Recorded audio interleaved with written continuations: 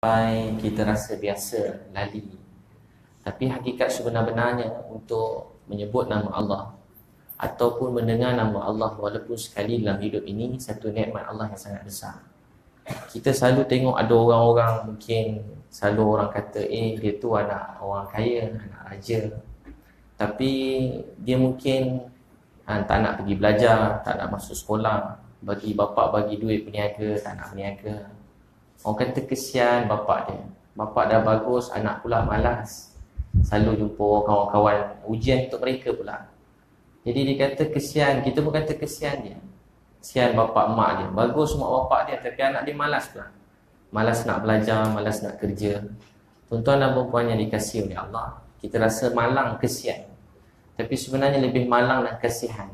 Orang-orang yang dilimpahi nikmat untuk memuji dan mendengar nama Allah Subhanahu wa taala. Dilimpahi nikmat untuk peluang untuk berdakwah, dilimpahi nikmat peluang untuk duduk majlis-majlis begini, majlis-majlis ilmu, majlis fikir.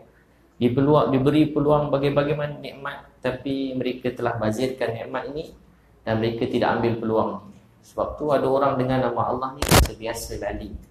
Sampai kita mungkin tersengguk-sengguk, letih, tidur. Tapi tuan-tuan dan puan sekalian orang dulu menyebut nama Allah ni dengan rasa cinta, rasa sayang. Makin sebut nama Allah, mereka makin cinta, makin sayang. Syekh Al-Khandahlawi beritahu satu hadis Nabi sallallahu alaihi wasallam saya dengan bayang beliau. Dia kata ilmu ni ada dua. Satu ilmu di lidah, satu yang turun ke dalam hati.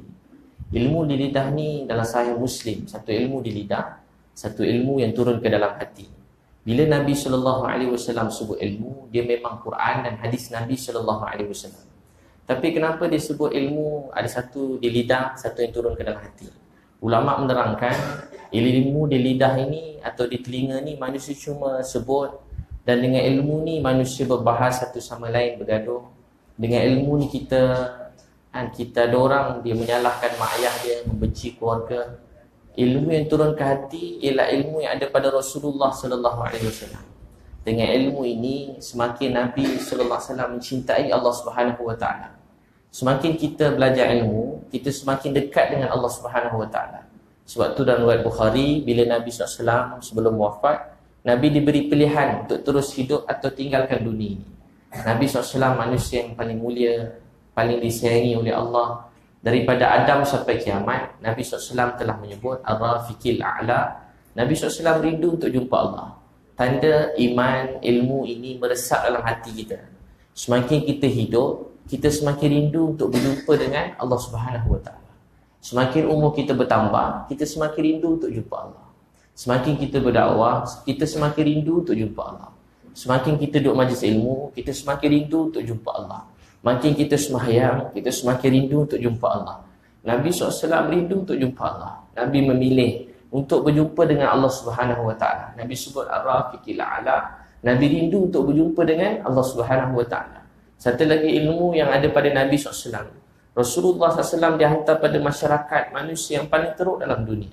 Tapi Nabi SAW berjuang, berdakwah sehingga daripada sana telah wujudnya sahabat dan sahabat telah sampaikan agama pada kita semua tuan-tuan sekalian, kita dapat duduk sini kerana perjuangan Nabi SAW dan perjuangan para sahabat radhiyallahu anhum ajma'in.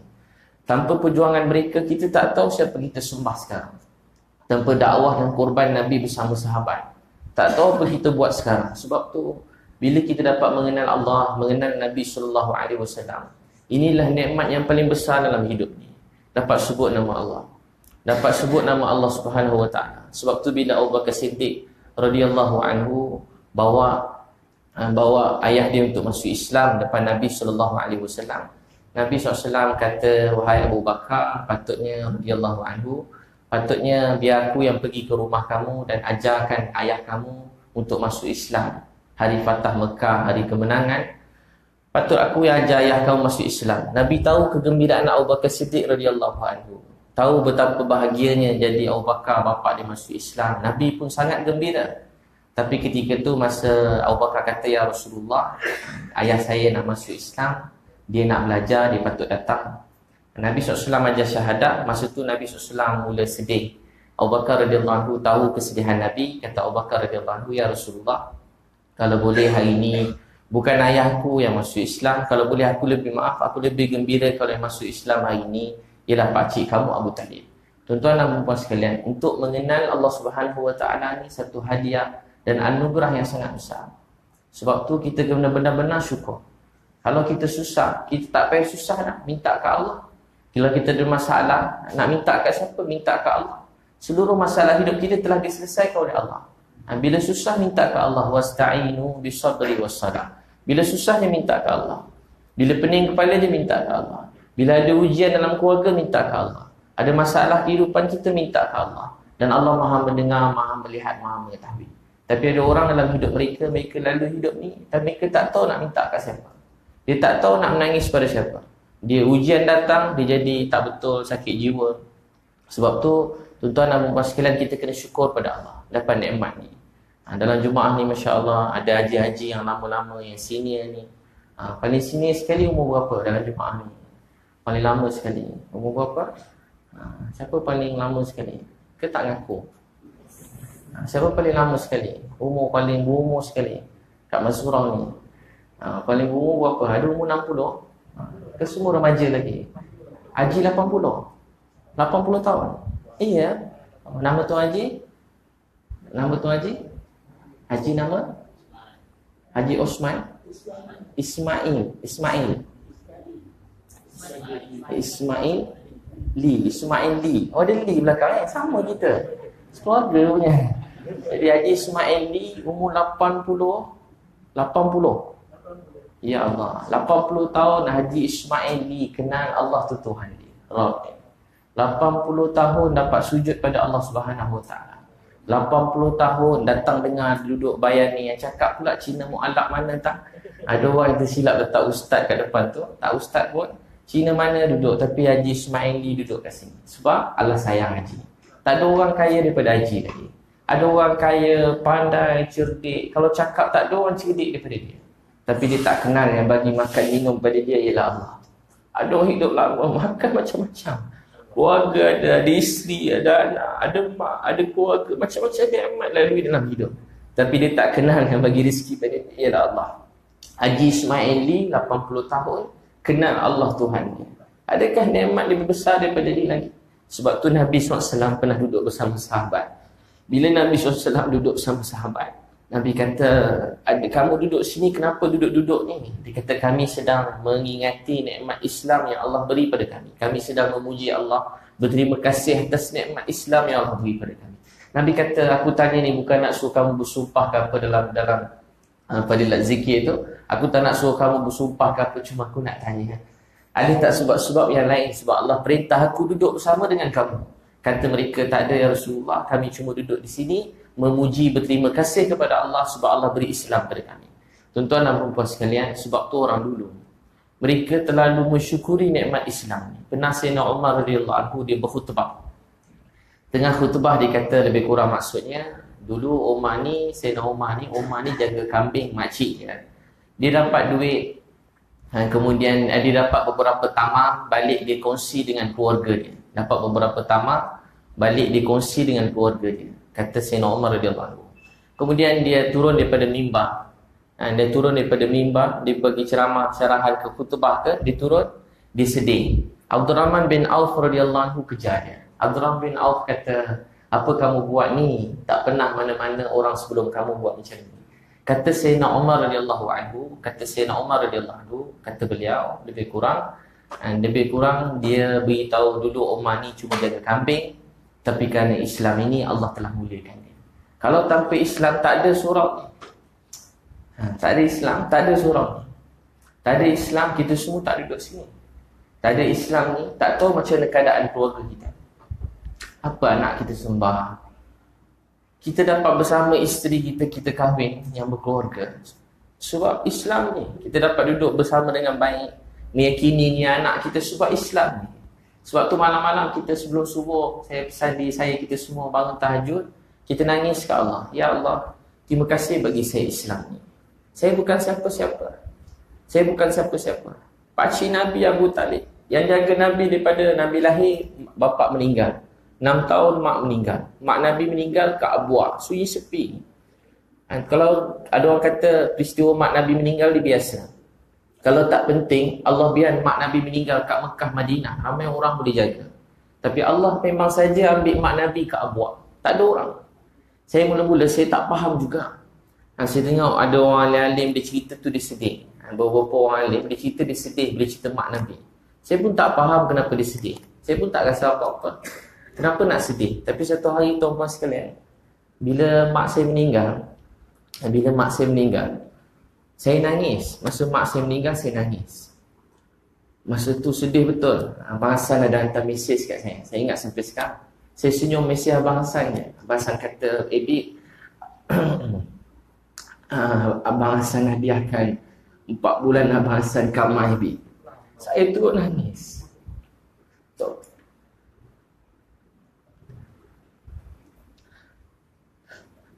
Masa tu saya turun nangis.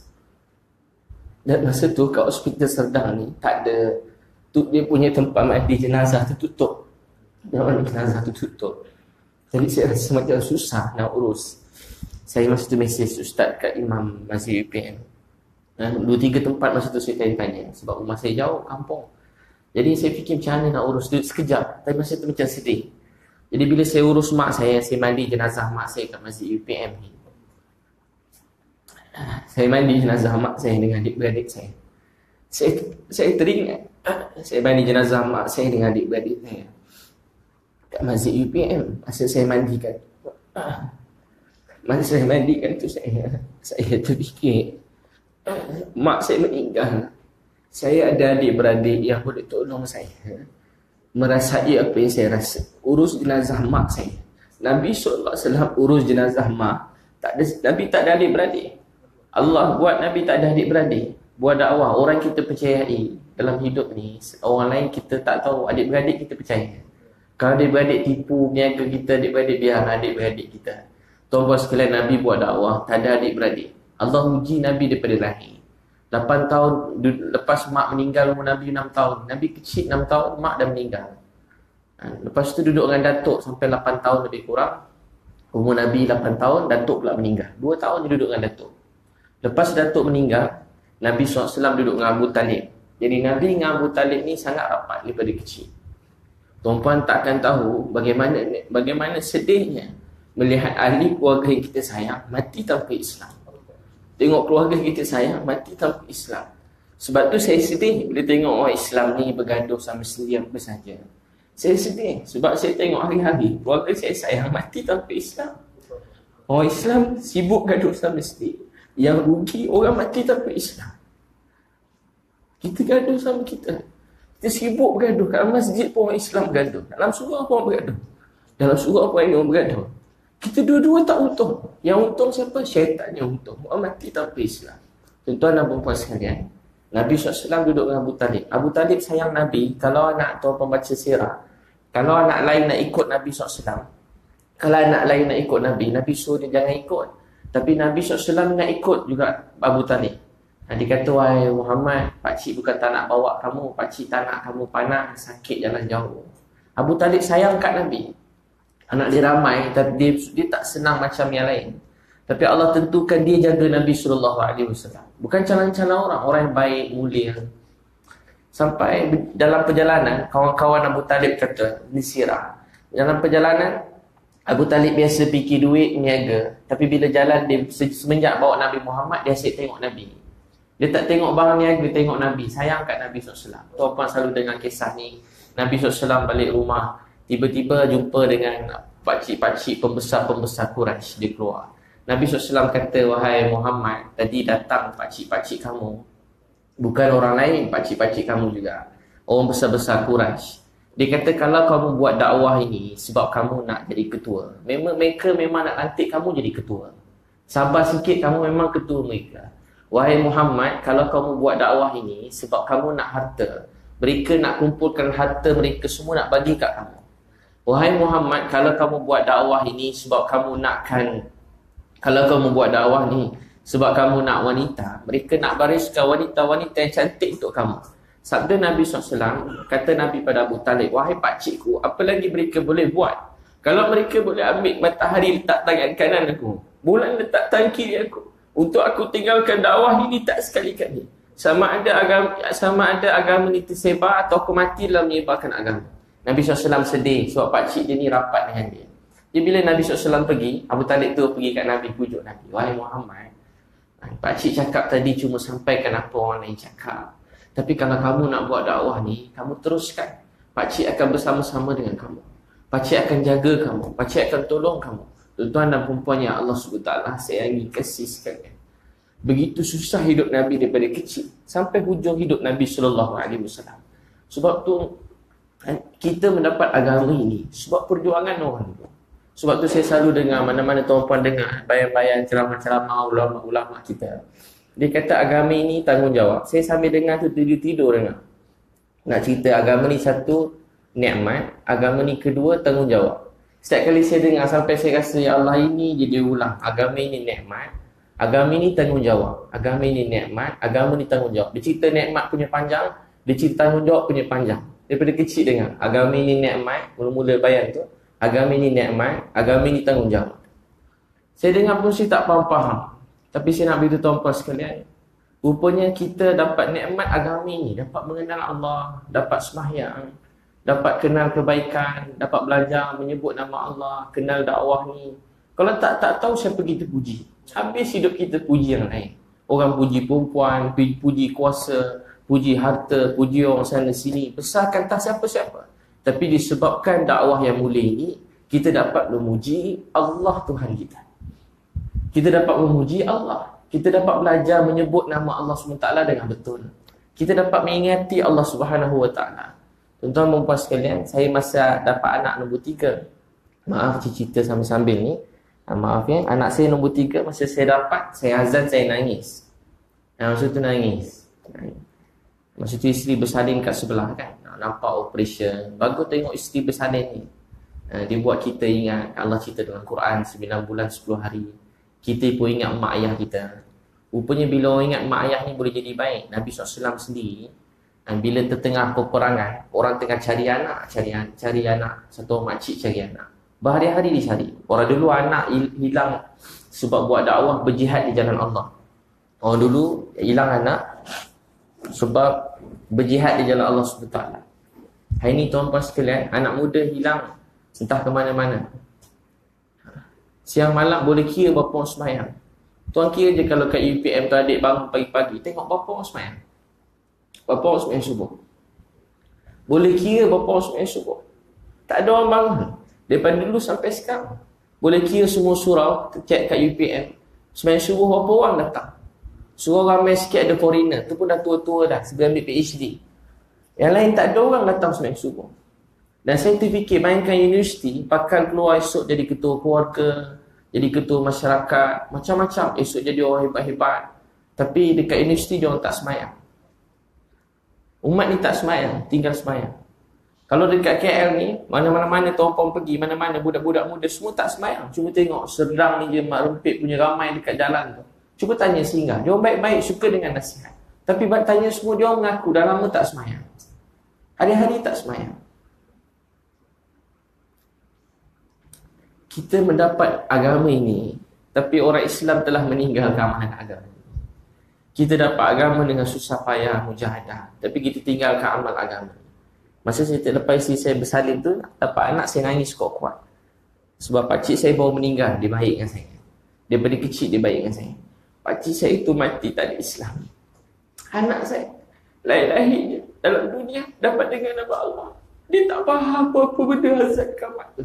Lahir-lahir dapat dengan nama Allah. Dapat dengan nama Nabi SAW. Lahir dapat dengan nama Allah. Tuan Pak sekalian lahir anak saya nombor tiga tu dapat dengar nama Allah. Saya fikir pakcik yang saya sayang mati tanpa Islam. Sebab itu tuan-tuan dan puan sekalian. Agama ini nikmat. Agama ini nikmat. Agama ini nikmat yang sangat besar. Tapi ramai orang kat luar sana yang belum kenal Allah, belum semahyang, anak-anak muda tinggal semahyang. Orang mati tanpa agama. Agama ini juga tanggungjawab. Agama ini juga tanggungjawab. Kita bertanggungjawab untuk hidupkan agama ini. Dan orang Islam bila tinggalkan dakwah, dia jadi lemah. Dia jadi lemah. Jadi teruk. Bila tinggal dakwah, jadi lemah, jadi teruk. Tengok mana-mana. Orang semua kata, bila budak-budak mati ke langgar kat Johor Baru kan, ramai-ramai meninggal. Orang semua kata, kenapa budak tengah malam berjalan sana sini. Satu Malaysia tukang kutuk sana sini.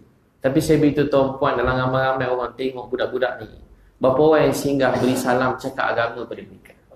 Orang Islam jadi begitu lemah. Budak kecil je 9 sampai 15 tahun je budak-budak tu.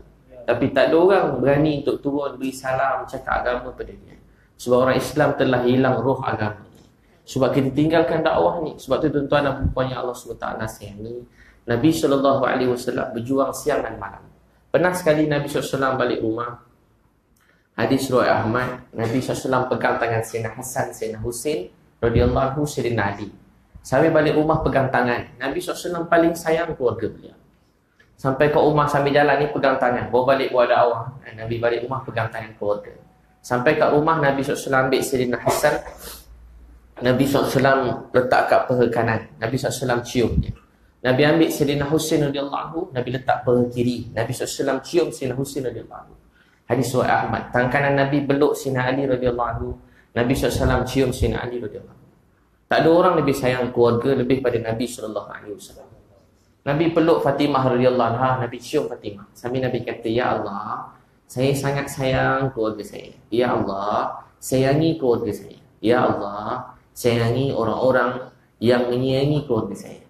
Nabi orang paling sayang keluarga. Tapi kalau tuan-puan nak tahu, anak-anak dan keluarga Nabi mati demi keluarga kita semua dapat agama. Ha. Saya dulu tak faham juga. Tapi satu hari memang tak faham sekarang. Satu hari saya balik daripada Johor Baru. Masa tu ada ada Johor kat Siptaling tu. Saya pergi singgah. Sekali masa saya singgah, saya dengar ada orang duduk sebelah saya, saya itikaf sebelah. Tak tahu siapa sempit-sempit tu. Saya dengar dia tengah doa, nangis.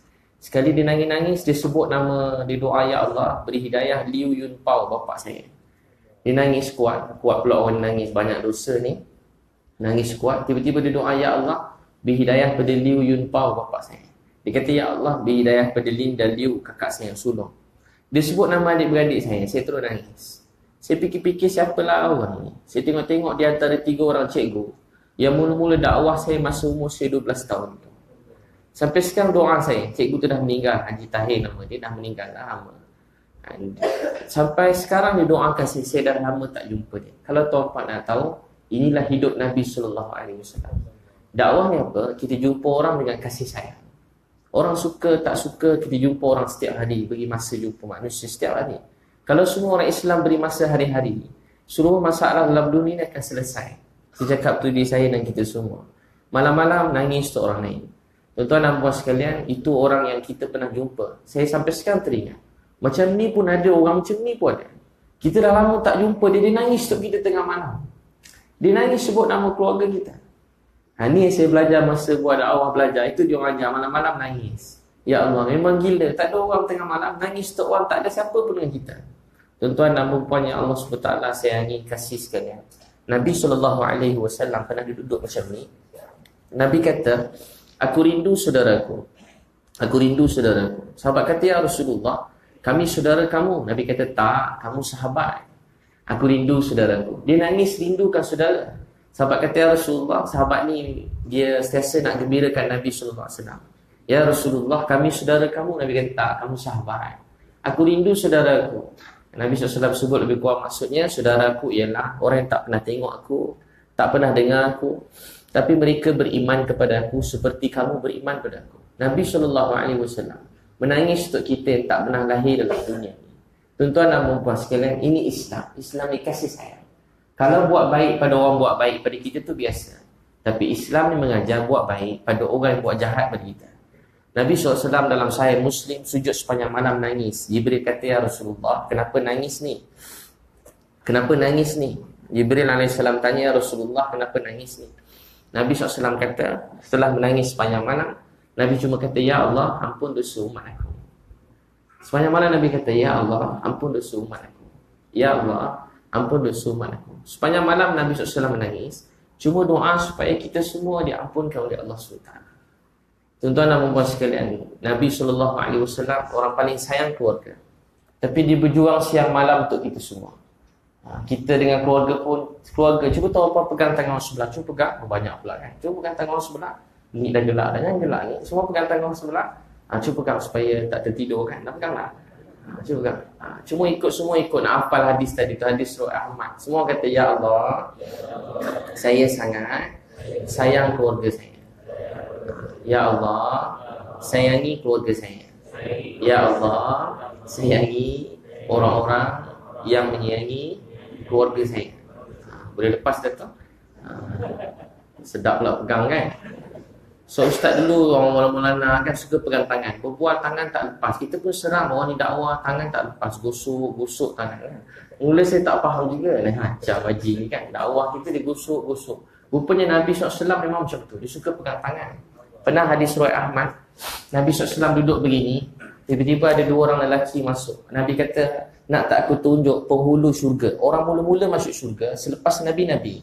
Tiba-tiba Abu Bakar dan Umar datang dalam keadaan kedua-duanya sedang berpegangan tangan. Orang yang berjuang untuk agama ni disanding sayang menyayangi, dia menghargai. Bayangkan Abu Bakar dan Umar satu yang berjuang siang malam. Dia masuk dalam majlis Nabi SAW sambil masuk ni tengah pegang tangan. Tuan-tuan dan puan sekalian, bila kita sibuk berjuang untuk agama, Allah masukkan dalam hati kita sifat rasa sayang pada orang lain. Kita rasa kita sebuah keluarga yang sangat rapat. Sebab tangisan dan pengorbanan keluarga Nabi SAW. Sebab perjuangan keluarga Nabi, keluarga kita dapat Islam. Tuan-tuan dan puan yang Allah sayangi, pernah Nabi SAW dalam hayat sahabat, ada suatu wanita cantik bawa kain, bawa air, cari ayah dia. Cari-cari datang, dibersihkan ayah dia, dia tolong ayah dia. Lelaki tadi kata, wahai anakku, naikkan kain di atas dada kamu. Masa tu belum turun perintah muta orang. Anak dada tu sangat cantik, itulah Zainab radhiyallahu anha. Tuan-tuan sekalian, kita semua terhutang budi dengan Zainab. Budak 10 tahun, remaja 10 tahun, masa saya kira-kira lebih kurang. Tapi siang malam dia tolong jaga Nabi SAW. Masa kita semua tak dekat sana, nama dia Zainab Sekarang anak-anak kita tak kenal siapa tu Zainab Anak-anak kita kenal semua orang. Tak usah kata anak, mak-mak dia, ayah-ayah dia kenal semua dalam dunia. Tak apa-apa kita bincang setiap hari. Tapi dalam keluarga kita tak pernah berbual tentang anak-anak Nabi sallallahu alaihi wasallam. Satu hari Zainab radhiyallahu anha pernah Nabi SAW buat dakwah pergi kemah-kemah tercampak keluar. Yang tercampak ni bukan manusia biasa, orang yang paling disayangi oleh Allah. Tuan kita semua takkan faham apa maksud manusia yang paling disayangi oleh Allah. Daripada Adam sampai kiamat, dia kekasih Allah SWT. Allah sendiri beritahu dia orang yang sangat banyak berjuang. Allah beritahu dalam Quran, laqad ja'akum rasulun min anfusikum azizun 'alaihi ma anittum harisun 'alaikum bil mu'minina raufur rahim. Kami hantar rasul di kalangan kamu yang sangat ambil berat hal kamu semua. Nabi benar-benar merasai apa yang kita rasai dan Nabi SAW tamakkan kebaikan untuk kita semua. Kalau boleh Nabi nak kita semua bahagia masuk syurga. Nabi tak nak satu orang boleh kita masuk neraka. Susah kerana ayah saya tanya saya soalan umur dia 80. Ebi, dia nangis. Mak saya semenjak meninggal ni nangis dia. Dia sebab dia memang duduk dengan mak dia makan berdua maaf teringat tiba-tiba kan datang IPN ni macam-macam teringat. Dia tiba-tiba dia makan berdua. Dia bila mak tak ada dia seorang-seorang. Dah dua tahun. Jadi setiap kali dia makan kadang-kadang dia nangis. Bila saya duduk teman dia makan dia kata kat saya Adik-beradik ayah ramai. Agak-agak sempat tak ayah nak tengok adik-adik ayah ni masuk Islam. Ayah saya kata Ibi, agak-agak sempat tak ayah nak tengok abang kakak kau yang enam orang lagi masuk Islam. Kenapa Allah tak bagi dia hidayah kat dia orang kan senang? Ayah saya cakap kat saya. Saya kata kat ayah saya, ayah, dulu ada orang sayang kita. Nama beliau ialah baginda Muhammad sallallahu alaihi wasallam. Dia telah korbankan semua orang dia sayang dan semua sahabat-sahabat masuk Islam kena bunuh. Tuan-tuan dengar kan? Agak tahu pada sekolah rendah ada kisah Sumayyah kena bunuh, Yasir kena bunuh. Masa Nabi jarah keluarga Yasir sebelum dia dibunuh. Tuan-tuan dengar apa dia tulis. Pada sekolah rendah cerita. Dia kata pada keluarga Yasir, Nabi bersabda, bersabarlah wahai keluarga Yasir. Bagaimana Nabi SAW nak menuturkan perkataan tu? Dalam keadaan keluarga Yasir telah ikut Nabi, kerana masuk Islam, dia nak dibunuh sekarang. Masa tu kita dengar Yasir kena bunuh, Sumayyah kena kena kena, kena tombak pada bawah. Maka waktu tu kita dengar yang Yasir radhiyallahu anhu nangis sampai mata dia laju keluar dan dia kata dia keluar daripada masa tu dia mengaku dia keluar daripada Islam. Tengok bapak mati kena bunuh, mak mati kena bunuh sampai Allah turunkan ayat Quran. Allah beritahu lidah dia lidah dia keluar daripada Islam. Tapi hati dia Allah yang tahu. Allah beritahu hati dia tak berubah. Allah sayang. Allah tahu macam mana pengorbanan keluarga Yasir. Allah tahu macam mana hati seorang anak kecil tengok kerana Islam mak bapak dia mati kena bunuh. Tuan-tuan sekalian kerana Islam mak bapak dia mati kena bunuh. Demi hidayat sampai ke kita, demi hidayat sampai ke kita, mak bapak beliau kena bunuh. Mahalnya Islam waktu tu. Ni tapi hari ini oh Islam dah tak ada rasa sayang orang Kita sama kita duduk kat masjid ni tengok orang sebelah pun rasa menyapa. Sama masjid, sama kita buat dakwah pun tengok ada rasa begitu begini. Kita semua sebuah keluarga. Kita semua sebuah keluarga. Hari ini giliran kita pula kena berjuang berdakwah. Tuan tak kesian kita tengok orang mati. Kita tak nangis kita tengok orang tak semain. Takkan sikit pun tak rasa sedih. Takkan sikit pun kita tak nangis tengok orang tak datang masjid.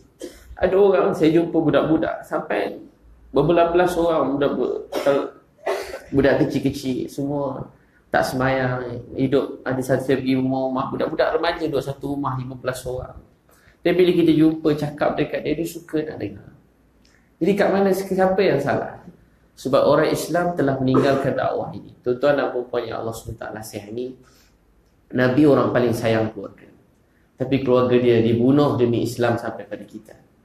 Tuan-tuan dan perempuan yang Allah sayangi Masa tu Nabi SAW Masa balik je Itu yang hayang kita dengar Ulama kita cerita Nabi masuk kemah Kemah tu kata Ya Rasulullah Bagus dakwah kamu ni Kami nak bawa kamu balik kampung kami Tiba-tiba datang ketua kaum tu Halau Nabi SAW Tuan-tuan tahu siapa dia halau tu? Nabi Muhammad SAW Naik unta-unta kena cocok Nabi SAW jatuh Nabi SAW pergi jatuh Sehingga kan Tuan-tuan dan puan masa tu Nabi wasallam Zainab datang tolong Nabi, Zainab kata wahai ayah, siapa yang terdamak buat macam ni pada ayah. Satu anak tengok bapa dia sihat sehari-hari macam tu. Maka sabda Nabi SAW, wahai anakku, jangan kamu lihat apa kamu lihat ini. Dengar baik-baik. Islam ini akan sampai pada setiap orang. Sama ada rumah mereka di bandar atau rumah mereka di kampung. Seperti mana matahari menyinari dunia. Seperti itu Islam akan sampai pada setiap orang dalam dunia. Dia susah, dia sakit, dia kata nak jangan tengok bapa ni. Tengok Islam dia akan sampai ke seluruh dunia. Siapa yang siapa yang dapat Islam seluruh dunia? Kita semua. Kita bukan siapa-siapa. Kita semua kebanyakan semua bukan keluarga Nabi SAW. Kita bukan keluarga Abu Bakar Siddiq radhiyallahu Bukan keluarga mereka semua. Tapi Allah telah selamatkan kita dan hadiahkan kita Islam Allah telah anugerahkan kita Islam. Itu syukur ke Allah. Malam-malam nangis, tengok isteri nangis. Ya Allah, Terima kasih beri isi saya Islam. Anak-anak pelajar UPF kan. Malam-malam nangis. Doa, Ya Allah terima kasih bagi mak saya Islam. Bagi ini. Selamatkan saya, selamatkan anak-anak saya. Yang ada anak-anak, tengok anak-anak malam nangis. Dia pandai ke, dia tak pandai ke, dia apa ke, nampak baik ke, nampak degil ke. Nangis, syukur. Sebab Allah beri kita asas agama ini, beri hidayah. Tuan-tuan dan perempuannya sekalian, untuk, untuk agama ini satu pengorbanan, perjuangan. Kita kena berjuang untuk agama ini. Kena sungguh-sungguh berjuang secara istiqamah. Dan secara istiqamah kita kena beri masa untuk agama ni. Dan saya dulu tuan-puan cerita sikit masa saya kecil-kecil dulu. Tak bagus cerita tapi cerita juga lah tuan maaf eh. Masa saya kecil-kecil dulu. Ha, masa tu keluarga saya ni tak ada semayang-semayang semua tak ada. Kat rumah saya ada arak kat rumah. Siap tahun baru Cina, saya buat pesta arak. Ha, masa tu orang semua kata apalah Cina ni bagi minum arak pula. Betul lah orang cakap tu semua tak salah. Saya tak kecil hati pun. Ha, sampai kecil-kecil degil. Orang kata dia ni tak boleh ubat dah ni. Banyak makan babi. Dulu kecil-kecil.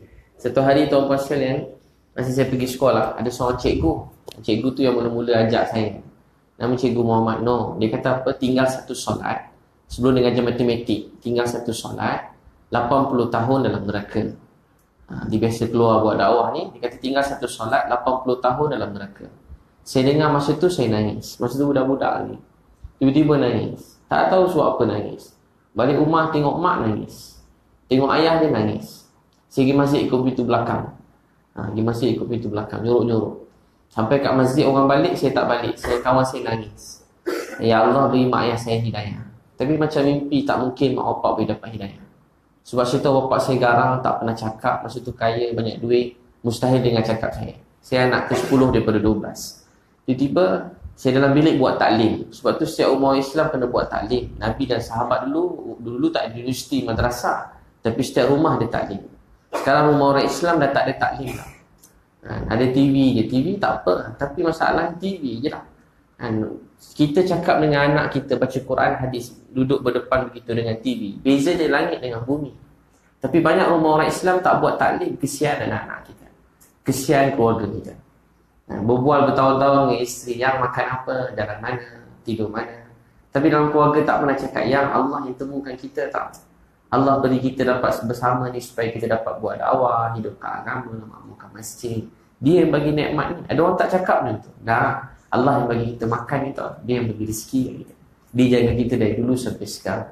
Ada orang tak cakap-cakap pun tu. Sampai tak tahu nak cakap apa. Dalam kahwin, diam je. Senyap je. Bang cerita lah. Tak tahu apa nak cerita dah. Tuan-tuan sekalian, tengah-tengah saya baca Quran hadis, buat taklim dalam bilik masa tu. Tiba-tiba, mak saya duduk. Mak masa tu seksi je. Pakai baju semua seksi. Baju separuh, pakai skirt je. Tiba-tiba tengah saya baca, mak saya duduk. Rumah saya penuh gambar-gambar mak saya. Macam-macam gambar. Tengah-tengah saya baca, mak saya duduk. Tiba mak saya berubah. Mak saya pemula masa tu pakai tudung elok. Sembahyang. Taklim. Bukan faham sangat pun. Tapi kesan Quran dan hadis Nabi SAW tu. Mak saya berubah. Pelan-pelan satu hari bapak saya pulang. Bapak saya garang. Dia tak bagi saya. Ha, tak bagi buat-buat dakwah ni semua dia tak bagi. Jiran-jiran datang. Kata apalah anak awak ni ajak masuk Islam lah. Ajak buat dakwah lah. Jiran semua datang warning bapak saya. Ha, tiba-tiba tengah-tengah saya baca Quran hadis, bapak saya datang. Bapak saya datang. Lepas 6 bulan saya buat, bapak saya datang. Hari-hari baca setiap malam. 9.30 sampai 10. Tengah-tengah baca, bapak datang. Bapak saya duduk kat saya, dia pegang kaki saya, dia nangis. Dia kata, Ibi, ayah pernah minta apa-apa takkan kau? Ayah saya tak nak cakap dengan saya, tak pernah cakap. Dia tak pernah cakap apa-apa pun. Tanya dia duit, dah makan, belajar okey. Saya angguk dah laju sebab dia garang. Okey, okey, okey, okey. Tapi tiba-tiba dia tanya saya, Ibi, boleh tak tolong ayah hari ni? Nasi saya dah kata satu. Saya dah nangis dah tengok bapak saya nangis. Boleh tak tolong ajar ayah semayang? Terus mak saya nangis. Ajar ayah kenal Allah semayang. Mak saya terus nangis pergi dapur buat adik saya. Saya berempat kat rumah masa tu. Saya terus pegang tangan ayah saya bawa pergi ambil uduk. Masa ambil uduk, ayah saya nangis, saya pun nangis juga. Masa ambil uduk tu. Ha, semayang sama-sama. Bapak saya apa baca pun tak tahu. Baca apa? Tak tahu. Saya imam, bapak saya makmum. Saya imam, bapak saya makmum. Habis main dia tanya saya, Ibi, Allah maafkan ayah Saya kata ke ayah saya, Ayah, ayah nak tahu siapa yang bawa ayah hari ini untuk semayang? Kenal Allah. Yang bawa ayah semayang kenal Allah ialah Allah subhanahu wa ta'ala. Sebab Allah sayang ayah, Allah nak ampun dosa. Setelah ayah saya umur 60 tahun, itulah semayang yang kali pertama dalam hidup dia. Tuan-tuan sekalian cikgu tu itu dia buat dakwah tablik dia datang ke rumah saya. Dia datang masa dengan isteri dia sebelum tu. Isteri dia pakai purdak datang ke rumah mak saya lari takut. Tapi dia mak isteri dia kejar mak saya kat dapur ziarah mak saya. Berbual dengan mak saya. Setiap kali dia datang dia bawa hadiah. Dia puji bapa saya. Dia puji mak saya. Macam-macam dia cakap. Saya bapak saya kata kenapa lah cikgu ni baik sangat. Dia tolong cakap pak cik dia tahu bapak saya sibuk. Pak cik tak payah datang sekolah. Anak pak cik saya uruskan. Saya balik camp, dia kata, pakcik tak payah ambil, saya hantar nanti. Orang lain semua, opak akan datang. Air, air camp ke apa benda semua. Cikgu tu hantar saya balik rumah. Saya nak pergi mana-mana, ada ni, ada ni, cikgu tu hantar. Sampai bapak saya bagi duit kat dia, dia tak nak ambil. Bapak saya tak faham apa benda lah orang ni nak. Tapi tuan puan sekalian, bapak saya kata dalam hidup dia, tak ada orang lebih dia sayang, dia boleh daripada cikgu tadi dan isteri dia. Adik-adik ayah saya ramai. Sebab dia tak berhenti ziarah ayah saya. Tuan-tuan dan puan sekalian, kalau orang tanya saya, uh, Ibi uh, atau orang kenal orang panggil ustaz sebenarnya tak ustaz dia bukan ustaz tak ada belajar agama belajar ke UPM ni je tiba-tiba orang kata Ibi masa orang tanya saya apa dapat buat dakwah ni kadang pergi mana-mana orang selalu tanya ustaz-ustaz kadang-kadang orang alim-alim kadang orang besar-besar tanya ustaz ustaz buat dakwah lagi ke buat dakwah tablik lagi ke Kenapa ustaz? Ustaz buat lagi? Eh saya kata bukan buat lagi, memang buat lah. Memang buat lah. Ustaz buat lagi? Semua tanya, ustaz buat lagi? Ha, tanya kalau tablik ni, buat lagi ke tablik ni? Ha, buat memang bukan, bukan, memang buat lah. Saya kata dia memang buat lah. Buat dakwah ni memang buat lah. Dia kata kenapa buat? Apa untung buat dakwah tablik ni? Saya beritahu dekat orang tu. Saya kata, ustaz, sebab dakwah tablik ni, mak saya dah mati dengan Islam. Sebab dakwah tablik ini Saya keluarga saya hari-hari Dapat kenal buat taklim dalam rumah Kalau tak kat rumah saya Hari-hari tak tahu apa buat Tengok TV Berbual, makan Sebab dakwah tablik ni kalau saya susah saya belajar walaupun tak sempurna. Apa-apa susah minta ke Allah. Apa-apa susah minta ke siapa? Minta ke Allah. Sebab dakwah ni saya dapat puji Allah SWT. Kawan-kawan sibuk cerita benda lain dapat belajar puji Allah. Untuk tuan-tuan sekalian sebab usaha dakwah ni manusia dapat kenal Allah. Sebab usaha dakwah ini orang boleh jadi semayang jemaah. Kalau tak buat dakwah, manusia akan jauh daripada agama. Tuan-tuan jumpalah siapa-siapa pun. Saya jumpa budak-budak masa tu saja pusing-pusing, budak-budak keluar kelab malam 3 pagi. Budak-budak motor dakwah dia, dia suka dengar. Ha, siap bagus lah. Dia duduk sekejap, 5 minit cakap. Seorang tu punya bukan Islam, rambut merah. Masuk Islam. Duduk cakap-cakap-cakap. Bukan nak kita nak dakwah dia, cari orang Islam dia. Cakap-cakap. Ha, dia kata, kita kata Allah sayang. Ha, kita pergi jumpa orang, Allah sayang. Allah, Tuhan ada iman. Imam besar zarah, syurga 10 kali dunia. Awak semuanya insya-Allah ahli syurga Allah sayang. Tak payah kita cakap dia jahat. Tahu dia cakap apa? Jawapan dia standard je kalau tengah mampu keluar kelab tahu jawapan dia apa? Kami jahat, kami syaitan, kami dajjal. Tuhan tak ma Allah tak maafkan. Jangan kami kutuk, minum marah. Allah tak terima kami. Kami main judi, minum marah. Kami main perempuan, maaf dia kata tak mandi wajib. Tuhan mana terima 40 hari minum arak, Tuhan tak terima. Semua dia dah tahu tak? Mana Tuhan maafkan kami? Saya kata kat dia, cuba adik kata, Ya Allah, saya minta ampun. Dia orang mama ikut tujuh lapan orang, Ya Allah, saya minta ampun. Ya Allah, saya minta, saya minta ampun. Semua ikut. Kalau kau cakap ni ikhlas, Allah ampun dosa. Tambah lagi, Ya Allah, saya bertaubat. Oh, Ustaz taubat tak boleh cakap. Hmm, taubat ni tak boleh main-main, kena betul-betul baru bertaubat. Dalam Quran dia kata bertaubat ni betul-betul. Saya beritahu dengan dia, Nabi sebut taubatan nasuha. Saya normal tanya Nabi apa maksud taubatan nasuha? Taubatan nasuha ni setiap kali kita buat salah, cepat-cepat kita bertaubat dan tak nak ulang lagi sebab kita tak tahu ada peluang lagi ke tidak. Taubatan nasuha ni bukan bila kita dah, dah tua, kita dah insaf, dah tak nak buat apa-apa, kita taubat tak. Taubatan nasuha ni sekarang. Taubatan nasuha ni sekarang. Kita taubat janji dengan Allah, Ya Allah, saya tak sanggup hidup dalam dunia langgar perintah kau. Budak-budak ni semua dengar, sayang, dia suka. Tuan-tuan dan puan sekalian, ada sekali itu orang Serdang ni budak muda kat Serdang dua orang. Ha, dulu sekolah sekolah apa? Sekolah Juvana. Ha, lepas tu merompak pula, rompakan bersenjata. Ha, muka berparut-parut, suara mata terkeluar daripada Serdang ni. Saya keluar dengan dia orang. Dah lama tak ada pergi Serdang ni. Ha, masa tu buat dakwah dua tahun lepas kat satu tempat. Sampai-sampai kat Kedah tu, belah pedalaman. Ada orang kata jumpa satu orang ni, dia jahat. Kat sini dia lah jual dadah, jual semua sekalian jahat dia lah orang. Jadi masa tu kami pergi cari dia. Sekali dua tahun lepas. Orang sedang di tu. Kan? Sampai-sampai bila pergi kat rumah cari rambut panjang. Dia tengok kita tengah buat ziarah semua lagi. Tiba dia datang. Dia datang-datang dia tengok kita bersungguh-sungguh. Ha, saya ringkaskan ada tiga kali cari dia kat dalam-dalam tu. Dekat dalam hutan tu. Tiba-tiba bila dia jumpa je. Ha, tiba-tiba dia datang lagi sekali kepala dah botak. Siapa pula suruh kepala dia botak? Tengah malam dia tanya soalan. Tanya-tanya-tanya tak larat nak jawab. Nah serah pada yang budak muda sedang tadi. Dia sama-sama jemaah tu. Dia kali pertama juga keluar tu. Dia sama-sama je. Dia, budak dua orang tu dakwah dia. Dakwah, dakwah, dakwah. Tengah kami tidur, tengah malam. Dengan tiga orang bantai tahajud berjemaah. Nangis. Siapa pula buat program baru ni kan? Ha, tak mesyuarat program. Tengah malam bangun nangis tahajud tiga orang. Dia bantai nangis-nangis tiga orang. Tiga-tiga bangun nangis-nangis. Esok pagi masa sarapan, dia kata, Ustaz, rumah saya sebelah masjid. Setelah sekian lama, inilah kali pertama saya datang ke masjid ni. Esok malam 3 pagi kejut. Kami tengah tidur kejut. Dia bawa anak dia dua orang etikaf Dia kata eh bang anak perempuan tak bawa etikaf Laki boleh lah. Perempuan pula tidur sekali. Dia bawa anak perempuan dia dengan anak laki dia. Dia datang-datang Dia bawa buku taklim. Ustaz saya tak apa boleh sangat baca ni. Boleh tak ajar anak saya baca taklim? Sebab saya nak buat taklim kat rumah saya. Dan Tuan-tuan sekalian lepas 10 hari dan dia bawa pergi kat kawasan tempat budak-budak muda Semua jahat-jahat. Semua entah apa jenis tuan-tuan tengok pun tak payah cakap. Memang tengok pun dah tahu dia orang jahat dia duduk, dia buat taklim dalam tu. Dia semai jemaah dalam hutan.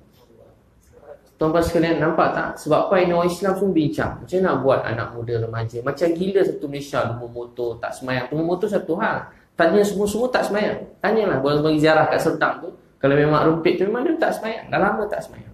Rambut di kala sebelah, anting semua sekali. Eh, bila kita dakwah, dia orang baik. Tu yang buat kita rasa, Ya Allah, ampun dosa saya. Sebab saya tak beri masa untuk jumpa mereka semua. Baik-baik semua sekali. Tuan-tuan sekalian. Kat UPM ni pun sama. Ramai pelajar. Sebab tu setiap orang kena beri masa untuk buat dakwah. Setiap kita kena sayang mereka. Tengok anak-anak kita, kita sayang mereka. Tuan-tuan dan perempuan sekalian, orang-orang dulu berjuang. Ada pakcik kat Serdang ni juga, dua orang. Jadi keluar jemaah tu. Dalam dia pun baru-baru juga. Sekali masa keluar, ha, tengah basuh baju, tengah hari nangis. Tengah basuh baju nangis. Nangis dia peluk saya, nangis kuat-kuat. Hari pertama dia angkat tangan nak khidmat. Hari pertama ustaz nak khidmat. Ha, sebut nama tu orang kenal tak nak sebut nama lah. Dia angkat tangan ustaz nak khidmat. Ha, Amisab nak khidmat. Ha, saya kata tak apa ji biar muda-muda ramai muda-muda khidmat lah.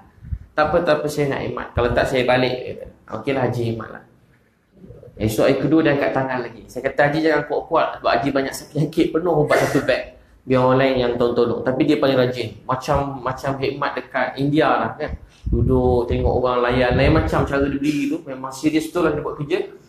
Dan tu esok sama juga. Angkat tangan. Siapa dah hikmat? Pakcik tadi angkat tangan ni ustaz saya Amir Amisab saya nak hikmat. Ha, saya kata tak boleh sehari sekali keluar ni hikmat sekali. Betul orang lain pula angkat tangan lagi. Lepas tu saya kata, kata kalau tak bagi saya balik. Ha, kalau tak bagi saya balik saya kata boleh Haji. Ha, hari ni je. Tapi kalau esok Haji angkat tangan lagi saya balik lah ha, tiba esok apa jadi dia, eh, itu dia hemat. Tengah-tengah hari tengah basuh baju kat kolah saya dengar orang nangis. Pergi kat kolah tengok-tengok kat kolah pakcik tu nangis dia peluk saya. Dia peluk saya dia kata kat saya Ustaz saya dah kahwin lama umur dia 60 ke lebih kurang lebih 30 tahun saya kahwin. Selama saya kahwin sampai hari ni saya tak pernah basuh baju saya. Hari ni pun saya basuh baju saya. Rupanya Ustaz penat Dia nangis Penat masak, basuh baju, penat. Saya dah dalam hati saya pun tak suruh Haji masak. Haji yang nak, dia marah. Penat Ustaz, penat. Dia bukan nak cerita dia penat. Dia nak kata dia tak pernah terima kasih dekat isteri dia. Sebab tu, bila orang berjuang di jalan Allah, kita akan menjadi manusia. Kita akan menjadi manusia yang ada hati dan perasaan. Kita tengok kat Bangladesh, orang minta sedekah. Tuan-tuan nanti istimak tonggi kan? Berapa, berapa bulan? Sembilan. Sebelah satu orang pergi lah. Tengok dengan ulama bagi nasihat. Datang satu surau ni buat rombongan yang ramai pergi. Pergi untuk belajar fikir agama. Tiba-tiba Masa kalau tuan-tuan tengok tempat orang susah Orang minta sedekah ni atas jambatan tu Mayat disusun nak minta duit. Mayat terbaring minta duit nak minta sedekah. Mayat, susun mayat minta duit. Keluarga dah mati Kita apa orang meninggal? Lagi polis datang. Polis datang ramai bawa kayu. Bila polis datang bawa kayu ada mayat tu bangun, maknanya dia belum meninggal lagi lah. Sebab dia dah kena pukul. Tapi ada mayat tak bangun. Ada mayat tak bangun. Betul-betul dah meninggal. Saya tengok nangis. Susah dia. Tuan-tuan dan perempuan sekalian. Tengok kesian. Nabi pun sebut kita tidur kenyang. Jiran lapar Allah tanya di akhirat. Kalau kita tengah kenyang, ada orang susah kata abang saya lapar. Abang tak belanja dimakan. Akhirat esok tak masuk syurga. Selagi tak dapat jawab, kita ditanya oleh Allah. Kenapa susah sangat nak bagi dia makan? Senang-senang kami bagi kau makan. Kalau dia orang susah lapar, kena bagi dia makan. Dan tak nak bagi duit, tak apa, kena belanja dia makan. Kalau dia kata lapar. Mungkin tuan tak percaya, tengok, takut beli benda lain. Kena belanja dia makan, mesti. Kalau dia kata dia lapar.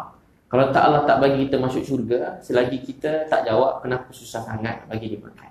Tuan-tuan puan sekalian, bayangkan kita tidur kenyang, jiran lapar, Allah tanya di akhirat. Tapi orang mati tanpa makan, tanpa Allah beritahu dalam Quran, Ar-Ra'aitan dadhi yukadzibu biddin, Siapa penipu lah agama ni Yang tak kesian orang miskin anak yatim Lebih kurang maksudnya yang tidak Tak suka pula tengok orang tolong orang miskin anak yatim. Kita kena sayang pada orang miskin anak yatim.